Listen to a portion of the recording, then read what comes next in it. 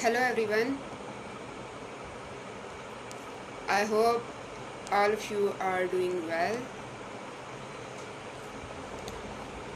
Today we will complete our history portion, or you can say that today we will complete uh,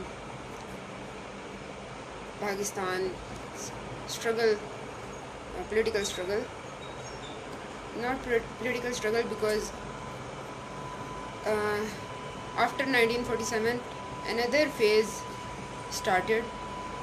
But up till now till the creation of pakistan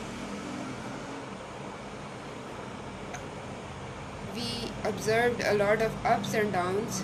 So political ups and downs the politics of rights and the politics of separation we observed in this whole episode today is the end of that struggle ये अलग बात है कि इसके बाद एक नई struggle शुरू हो जाएगी। बट उससे पहले हमारा पाकिस्तान तो कम अज़ कम बने। So before starting our class please help me in inviting your batchmates and please share this class in our WhatsApp groups I hope I am clearly audible to all of you and if I am not please let me know.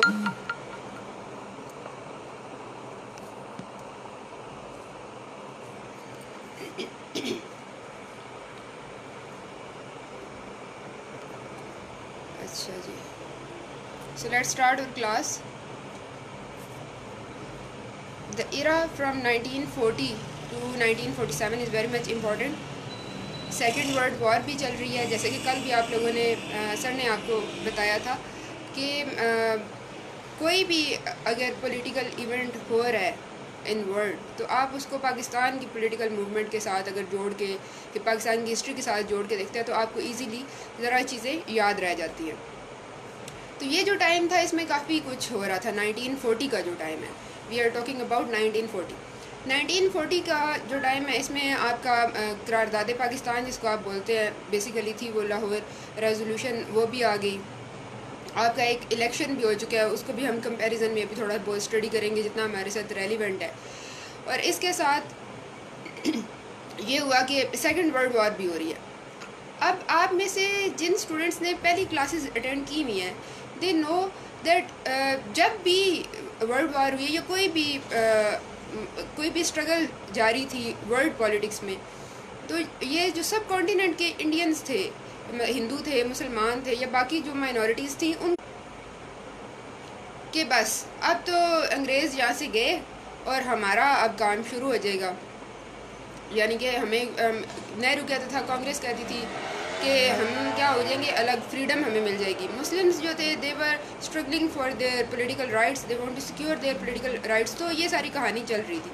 तो second world war जब हुई इससे पहले अब कांग्रेस ने तो पक्का ये अपना स्लोगन बना लिया कि we want freedom we want freedom we want self rule तो ये अंग्रेज़ यहाँ से जाएँ। तो अभी भी वो इस कहानी पे पूरे तरह से आ, आ, काम कर रहे हैं अमल कर रहे हैं कि बस ये सेकेंड वर्ल्ड वॉर शुरू हो गई है अब अंग्रेज़ गया और कहानी ख़त्म। अच्छा ये तो सारी बातें हो रही हैं। इसके साथ साथ हम ये देखते हैं कि फोर्टी टू में अगर आपने वर्ल्ड वॉर के जो फ़र्स्ट वर्ल्ड वॉर है और जो सेकेंड वर्ल्ड वॉर है, इसके अलाइंसेस को आप देखते हैं। तो जापान, उस वक्त आप देखते हैं कि उस वक्त जर्मनी के साथ था। ब्रिटिशर्स के ख़िलाफ़ जंग में लड़ रहा था, सारा काम कर रहा था। तो 1942 का जो टाइम था, इसमें बर्मा के करीब तक जैपनीज़ पहुँच चुके थे। अब आगे, बर्मा के साथ आगे आपका इंडिया शुरू हो गया। बर्मा तो अलग हुआ, कल हमने उसके बारे में स्टडी किया था। तो अगर जैपनीज़ आ जाते हैं सब कॉन्टीनेंट में एंटर हो जाते हैं।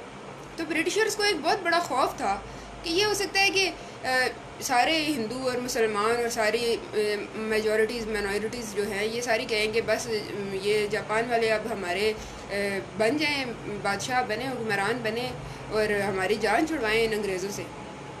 तो एक खौफ पैदा हुआ। अब ब्रिटिशर्स को आ, मतलब पता चल रहा था पहले भी काफ़ी एग्रेशन वो फेस कर रहे थे। तो क्या करें? उन्होंने एक मिशन भेजा, Cripps mission. Sir Stafford Cripps उसको हेड कर रहे थे। वो आए और उन्होंने कहा कि देखो, वॉर हो रही है। ये जापान वाले बिल्कुल आपके करीब पहुँच चुके हैं, बर्मा के करीब। लेकिन आप लोगों की डिफेंस की जो ज़िम्मेदारी है, आप लोगों की हिफाजत की जो ज़िम्मेदारी है, वो हमारी है। हम ब्रिटिशर्स की। यहाँ से अब थोड़ा थोड़ा सा आपने इसको समझना ये देखना है, बल्कि अभी काफ़ी हद तक आपकी इस पर ग्रिप बन चुकी होगी कि ब्रिटिशर्स हमेशा बहुत स्मार्टली प्ले करते थे।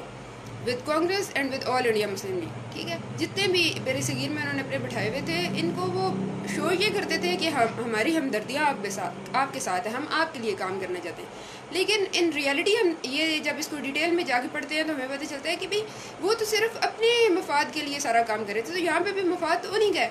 उनको नज़र आ रहा है कि जापान तो सर पे चढ़ के आ गया। तो बड़ी आगे उसने स्पीच दी, सर स्टैनफोर्ड ने। और सबसे पहली दफ़ा हिस्ट्री में ये बात हुई कि उन्होंने कह दिया कि हम इंडिया को आज़ाद कर दे कर देंगे। Right after the end of second world war we will free India ठीक है? इंडिया की फ्रीडम की पहली दफ़ा बात हुई। तो बातें तो बड़ी अच्छी थी। उन्होंने कहा कि हम कॉन्स्टिट्यूट असम्बली बनाएँगे और वो असम्बली जो है कानून साजी करेगी आपकी, जिस तरह का आप कानून चाहते हैं आप बनाएँ, हम बस उसको ज़रा हेड करेंगे। उसके बाद, क्या होगा कि हम ट्रांसफ़र करेंगे पावर को और हम चले जाएँगे। अब क्रिप्स मिशन को गांधी ने भी कांग्रेस ने भी रिजेक्ट किया और ऑल इंडिया मुस्लिम लीग ने भी रिजेक्ट कर दिया। अच्छा ऑल इंडिया मुस्लिम लीग की बात हमें फ़ौरन से समझ आ जाती है कि ठीक है जी उनका रिजेक्ट करना तो बनता था। क्यों? क्योंकि इसमें तो बात ही नहीं हुई। आ, हमारे के सेपरेशन की कोई बात नहीं। अब 1940 के बाद जो ऑल इंडिया मुस्लिम लीग का स्टैंड है वो भी यही है कि हम क्या चाहते हैं? कि जिन इलाकों में मुसलमान ज़्यादा आबादी में जैसे पंजाब है, जैसे बंगाल है, जैसे एन डब्ल्यू एफ़ पी उस टाइम का, आज का, आपका खैबर पख्तूनख्वा, और आपका बलोचिस्तान, इसको अलग कर दो, हमारी इसमें स्टेट बना दो, इसकी तो कोई बात नहीं हुई। लिहाजा हम नहीं मानते क्रिप्स मिशन को। दूसरी तरफ़ आपकी कांग्रेस आ जाती है। अजान की ब्रेक ले लेते हैं।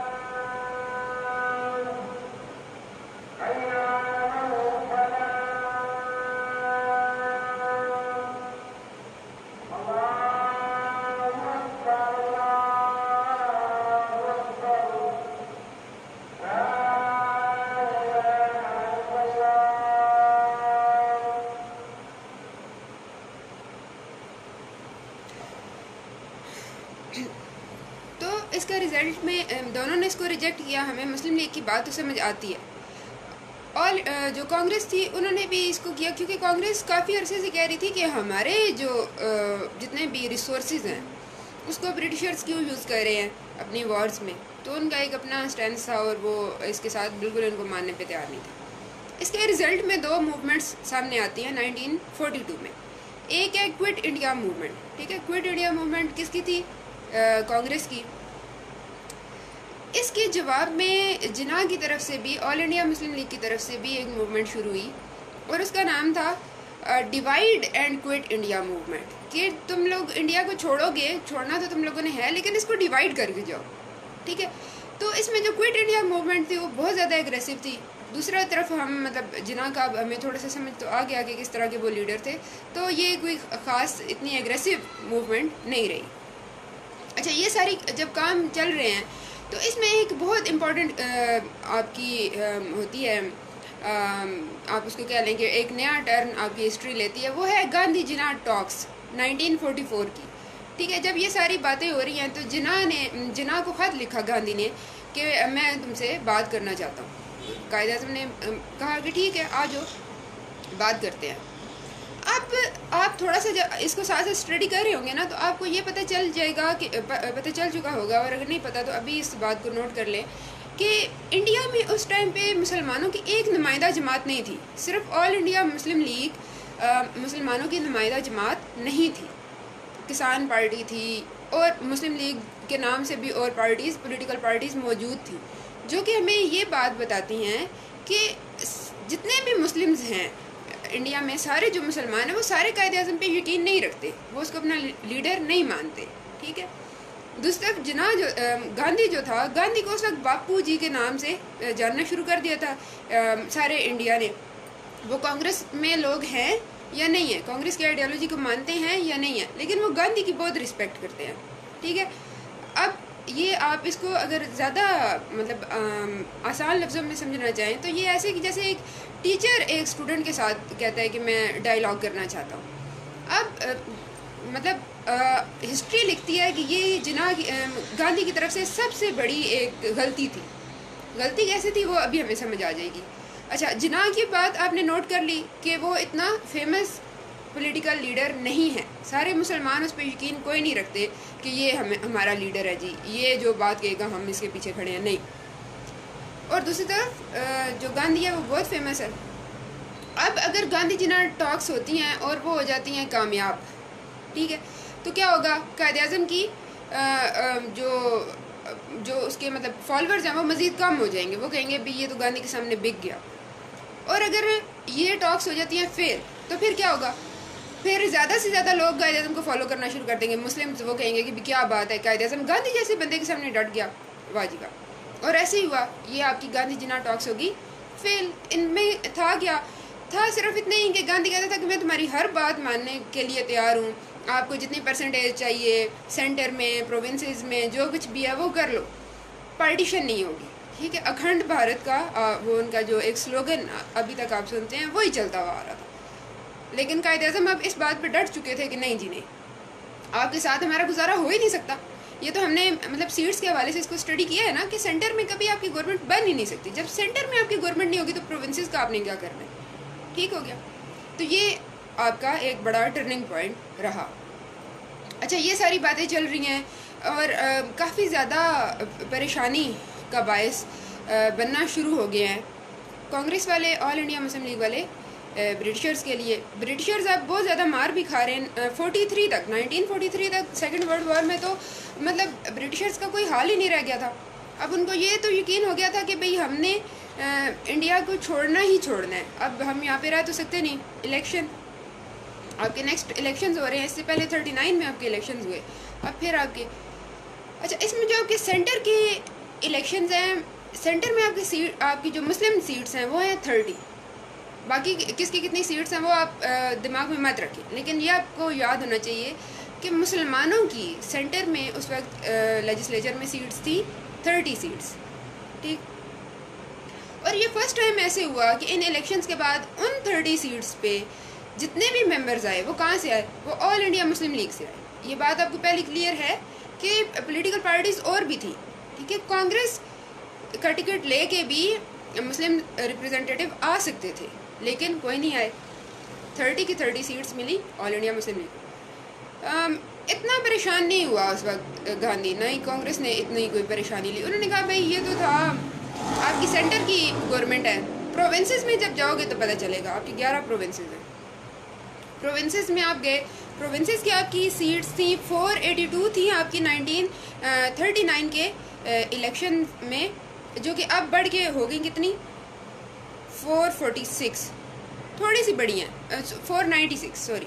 Four ninety six आपकी सीट्स हो गई हैं, थोड़ी सी बढ़ गई हैं।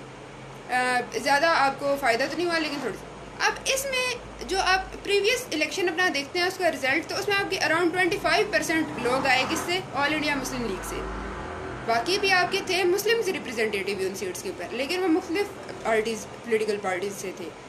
ये एक बहुत बड़ा धचका। अब अगर इस दफ़ा फिर ऐसे होता इन सीट्स पे मुस्लिम लीग वाले वही आते हैं twenty percent twenty five percent तो बड़ी परेशानी हो जाती। अंग्रेज़ों ने कहना था भी खाम खा हमारे सर, दिमाग में मतलब आप लोगों ने मतलब हमारे नाक में दम किया हुआ है। आपको तो आपको मुसलमान मानते ही नहीं है कि आप हमारी कोई रिप्रेजेंटेशन करें या कुछ करें तो आप तो साइड पे, हम कांग्रेस की बात मानेंगे, जैसे कि वो कांग्रेस को पहले ही कह रहे थे कॉन्स्टिट्यूंट असम्बली बनाते हैं हम आपकी, आप कानून साजी कर लें, हम ट्रांसफ़र ट्रांसफ़र ऑफ़ पावर करके यहाँ से चले जाएँगे। तो बड़ा tough time all India Muslim league के लिए।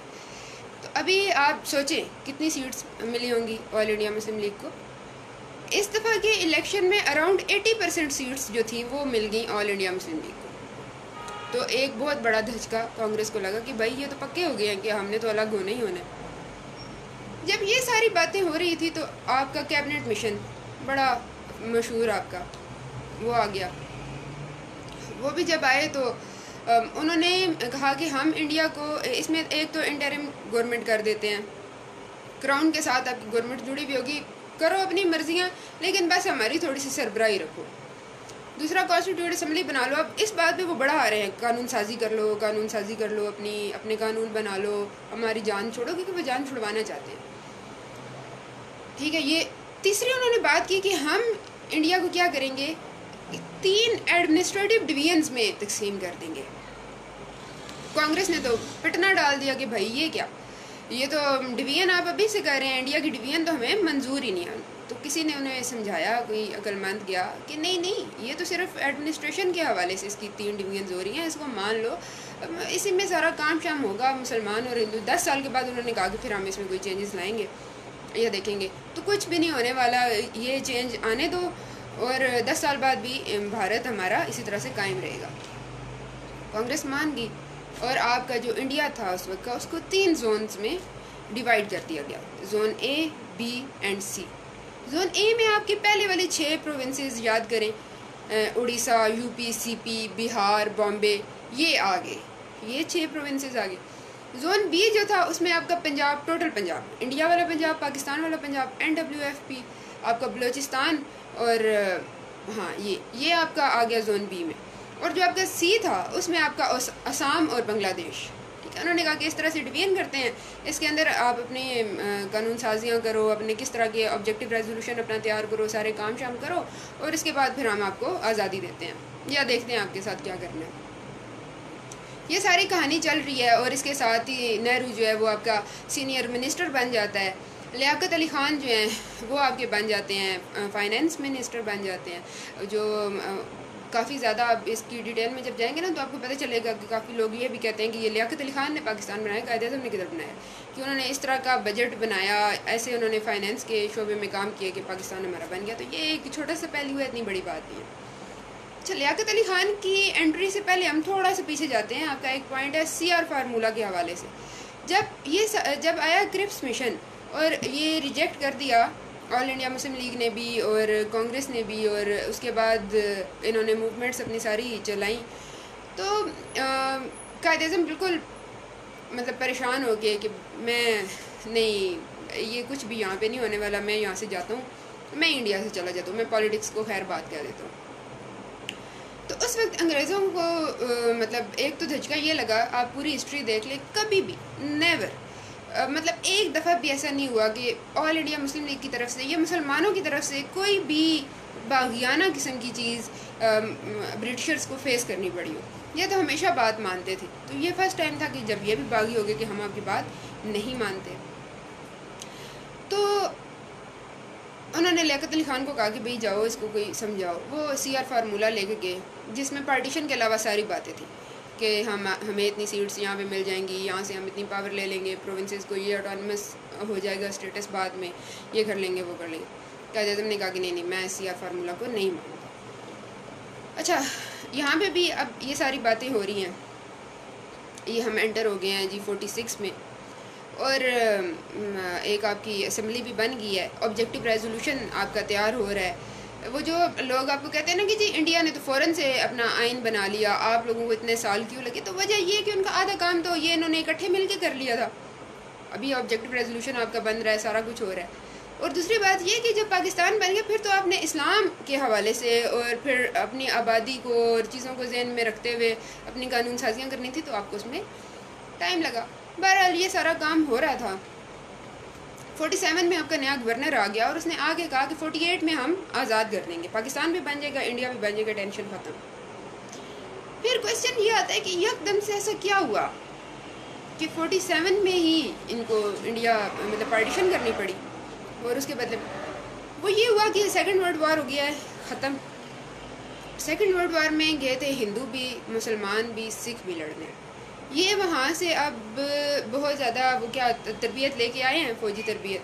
तो यहाँ पे आके दंगे फसाद शुरू हो गए हैं। सिखों की तरफ़ से भी, मुसलमानों की तरफ़ से भी, हिंदुओं की तरफ़ से भी। रेल की पटड़ियाँ उखाड़ना, लोगों को मारना, छोटे लेवल पे ग्रास रूट लेवल पे अब आप कह लें, फसादात शुरू हो गए। अब ब्रिटिशर्स इस बात को मानते थे, समझते थे कि ये जो पार्टीशन है, ये हमारा एक सबसे बड़ा हमारा फेलियर है कि हम इंडिया को छोड़ के जा रहे हैं। एक फेलियर हम इसको डिवाइड करके जा रहे हैं, दूसरा फेलियर अब वो ये नहीं चाहते थे कि तीसरा भी इनके ऊपर नज़ला गिरे कि ब्रिटिशर्स वहाँ पे लोगों को संभाल ही नहीं सके, क्योंकि मार कुटाई तो शुरू हो गई थी। छोटे छोटे लेवल पे एक दूसरे को मारना चीज़ों का नुकसान करना, हिंदू, मुस्लिम, फसादात, जो आप कहते हैं ना, वो शुरू तो हो चुके थे। तो उन्होंने कहा कि जितनी जल्दी हो सकती है जान छुड़वाओ। लॉर्ड माउंट बेटन उसने आपकी पार्टीशन का जो प्लान बनाया, वो भी आप कहते हैं ना जल्दी जल्दी में जी बन गया, इसी वजह से इतने मसले मसाइल वो छोड़ के चला गया। तो वो तो जान छुड़वाने के अंदाज में उन्होंने जान छुड़वाई। बल्कि आखिर में वो कायद अजम से कहते हैं, इतने जिद हो गया था लॉर्ड माउंट बैटन कि उसने कहा कि ये मेरे सामने इसको, इसकी मैं शक्ल भी नहीं देखना चाहता। क्योंकि वो विजनरी एक लीडर थे, वो तो मतलब कहते थे कि कॉन्स्टिट्यूशन के हवाले से मैं बात करता हूँ, आपने जो बातें की हैं, उस हवाले से मैं कहता हूँ कि हमारी यहाँ से, हमारे साथ तुम लोग धोखा कर रहे हो, यहाँ से हमें फ़ायदा नहीं दे रहे, नुकसान कर रहे हो हमारा। बहरहाल उन्होंने जल्दी जल्दी आपकी लाइनें, शाइनें खींची और आपको अलग कर दिया, आपका मुल्क तो बन गया। मुल्क बनने के बाद जो मार कुटाई हुई, उसमें हम कहते हैं जी, हम मुसलमान ज़्यादा हमारा बड़ा नुकसान हुआ है।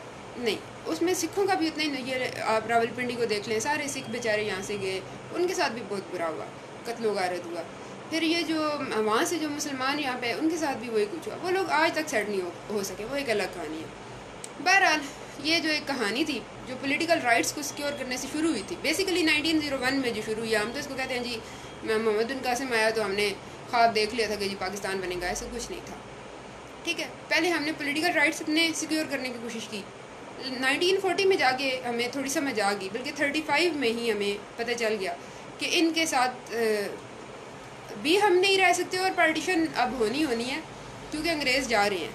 तो अंग्रेज़ों के जाने से पहले पहले अच्छा है कि ये सेपरेटिस्ट मूवमेंट्स शुरू कर लो। तो बेसिकली 1940 से आपको ये एक आपने इसके ऊपर सीरियस काम किया 47 में आपको पाकिस्तान बन गया।